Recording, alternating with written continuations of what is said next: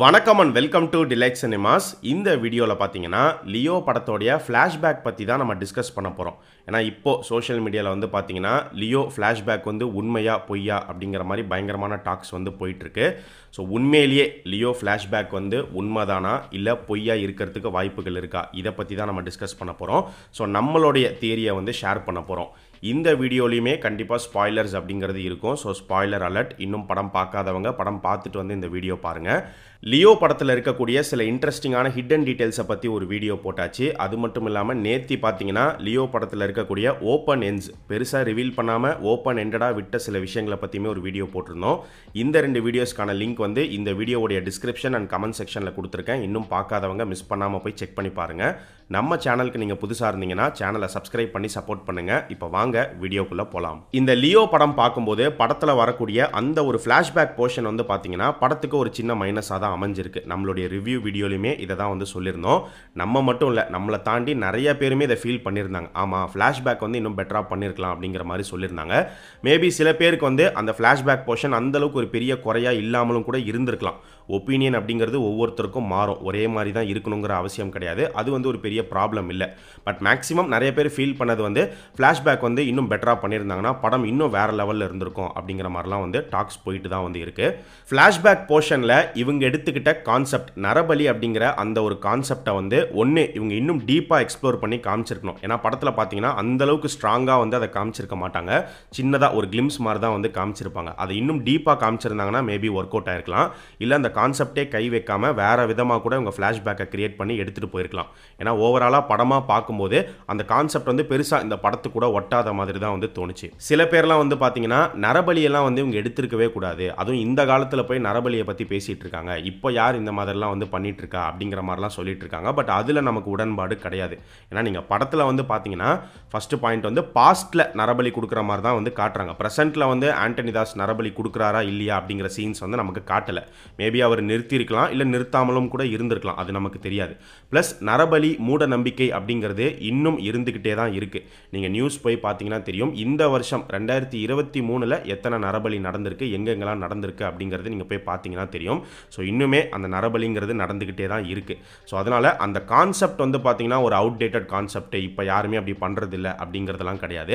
But அதை எடுத்து காமிச்ச விதம் படத்தில் யூஸ் பண்ணது வந்து ரொம்ப லைட்டாக யூஸ் பண்ணிட்டாங்களோ அப்படிங்கிற மாதிரி தோணுச்சு. அதை இன்னுமே வந்து பெட்டராக ஸ்ட்ராங்காக வந்து காமிச்சிருந்தாங்கன்னா நல்லா இருந்திருக்கும். ஸோ கான்செப்ட் ஒன்று இன்னொன்று வந்து பார்த்தீங்கன்னா லியோ கேரக்டர் படத்தோடைய டைட்டில் லியோ படத்தோடைய கதையே லியோங்கிற அந்த கேரக்டரை பேஸ் பண்ணது தான் அப்படி இருக்கும்போது லியோவை வந்து ஃப்ளாஷ்பேக்கில் தான் வந்து நமக்கு ரிவீல் பண்ணுறாங்க ஸோ ஃப்ளாஷ்பேக் போர்ஷனில் வந்து லியோ கேரக்டர் எவ்வளோ டார்க்கான ஈவிலான ஒரு கேரக்டர் அப்படிங்கிறத இவங்க காமிச்சிருக்கணும். அந்த மாதிரி பெருசாக சீன்ஸ் அப்படிங்கிறது ஃப்ளாஷ்பேக்கில் வந்து இல்லை. ஃப்ளாஷ்பேக் போர்ஷனில் பார்க்கும்போது ஒரு யூஷுவல் தளபதி விஜயை பார்க்குற மாதிரி தான் நமக்கு ஃபீல் கொடுத்துச்சு. லியோவாக வந்து நமக்கு தெரியல. அதே நீங்கள் பார்த்திபன் போர்ஷன்ஸில் நீங்கள் பார்த்தீங்கன்னா எங்கேயுமே வந்து உங்களுக்கு தளபதி விஜய் கண்ணுக்கு தெரிய மாட்டார். பார்த்திபன் அப்படிங்கிற அந்த கேரக்டராக தான் வந்து நமக்கு தெரிவார்.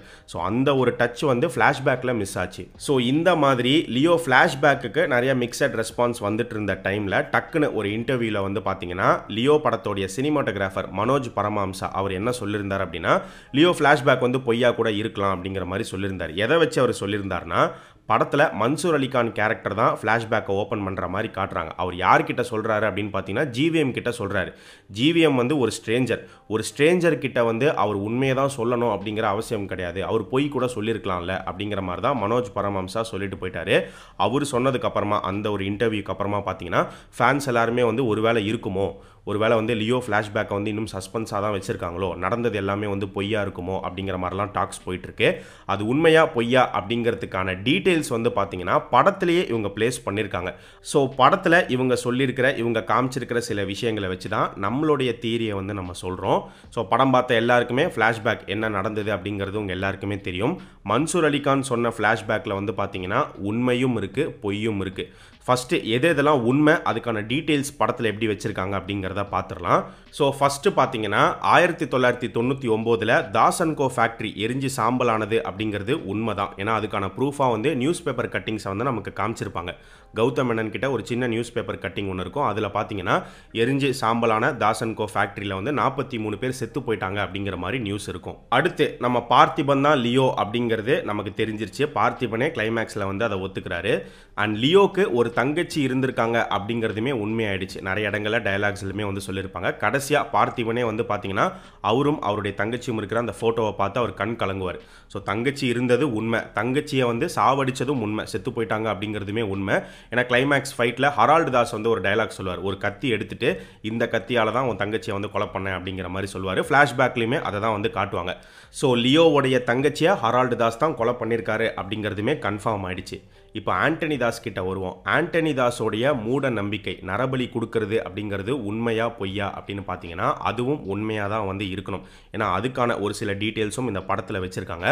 ஒரு கட்டத்தில் பார்த்தீங்கன்னா ஆண்டனி தாஸ் வந்து பார்த்திபனுடைய பையன் சித்தார்த்தை வந்து தூக்கிடுவார். தூக்கிட்டு என்ன சொல்லுவார் அப்படின்னா நீ லியோவாக இருக்க வேணாம். ஆனால் உன் ஆள் மனசில் போய் யோசிச்சுப்பார். நான் எதுக்காக உன் பையனை தூக்கணும்?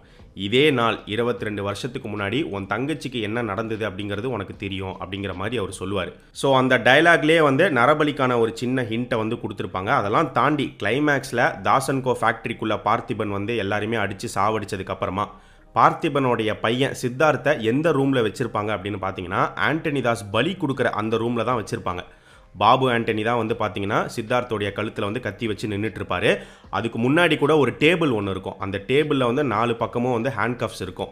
ஸோ நரபலி கொடுக்குற ஒரு செட்டப் வந்து அங்கே இருக்கும். ஸோ அதனால ஆண்டனி தாஸோடைய மூட நம்பிக்கை நரபலி அப்படிங்கிறது வந்து உண்மையாக தான் வந்து இருக்கணும். சரி ப்ரோ அப்போ மன்சூர் அலிகான் சொன்ன ஃப்ளாஷ்பேக்கில் எதெல்லாம் பொய் அப்படின்னு கேட்டிங்கன்னா ஃப்ளாஷ்பேக் போர்ஷனில் ஆண்டனி தாஸ் வந்து லியோவை ரெண்டு தடவை ஷூட் பண்ணுற மாதிரி காமிச்சிருப்பாங்க. ஆண்டனி வந்து லியோவை சுட்ட உடனே லியோ கீழே விழுந்துருவார்.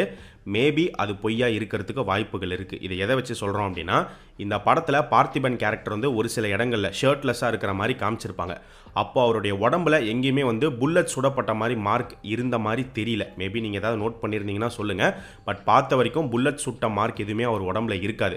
ஆனால் படத்தோடைய ஆரம்பத்தில் ஹைனா கூட சண்டை போடும்போது முதுகில் அவருக்கு அடிபட்டுரும். அந்த ஒரு ஸ்க்ராட்ச்க்கான டீட்டெயிலிங் வந்து அதுக்கப்புறம் வர சீன்ஸ்லுமே வந்து காமிச்சிருப்பாங்க. பட் ஆனால் புல்லட் மார்க் இருக்கிற மாதிரி காமிச்சிருக்க மாட்டாங்க. ஸோ அதனால சஞ்சய் தட் வந்து உண்மையிலேயே லியோவை ஷூட் பண்ணியிருக்கணுங்கிற அவசியம் கிடையாது. அது ஃபேக்காகவும் இருக்கலாம்.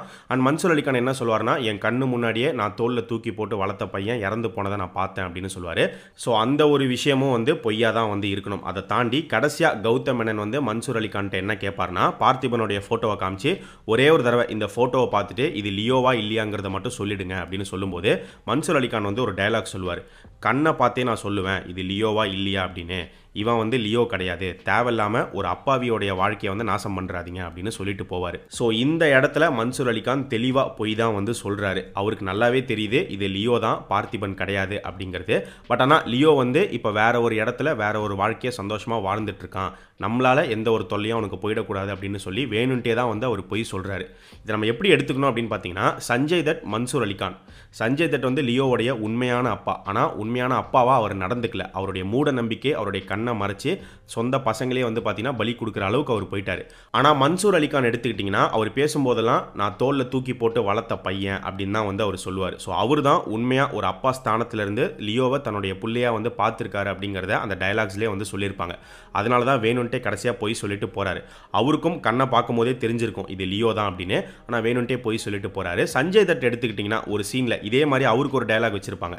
சஞ்சய் தட் என்ன சொல்லுவார்னா நான் அவன் கண்ணை பார்த்தே சொல்லுவேன். அவன் வந்து வந்து லியோ தான். அவன் இந்த ஊரை ஏமாத்தலாம் உலகத்தை ஏமாத்தலாம் என்ன ஏமாற்ற முடியாது அப்படின்னு அவர் சொல்லுவார். ஸோ படத்தில் காமிச்சிருக்கிற இந்த டீட்டெயில்ஸ் எல்லாம் வச்சு பார்க்கும்போது மன்சூர் அலிகான் சொன்ன ஃப்ளாஷ்பேக் வந்து உண்மைதான். அதில் ஒரு சில பொய் அப்படிங்கிறது இருக்குது கம்ப்ளீட்டாக வந்து பொய்யா இருக்கிறதுக்கு வாய்ப்புகள் கிடையாது அப்படின்னு தான் நினைக்கிறேன்.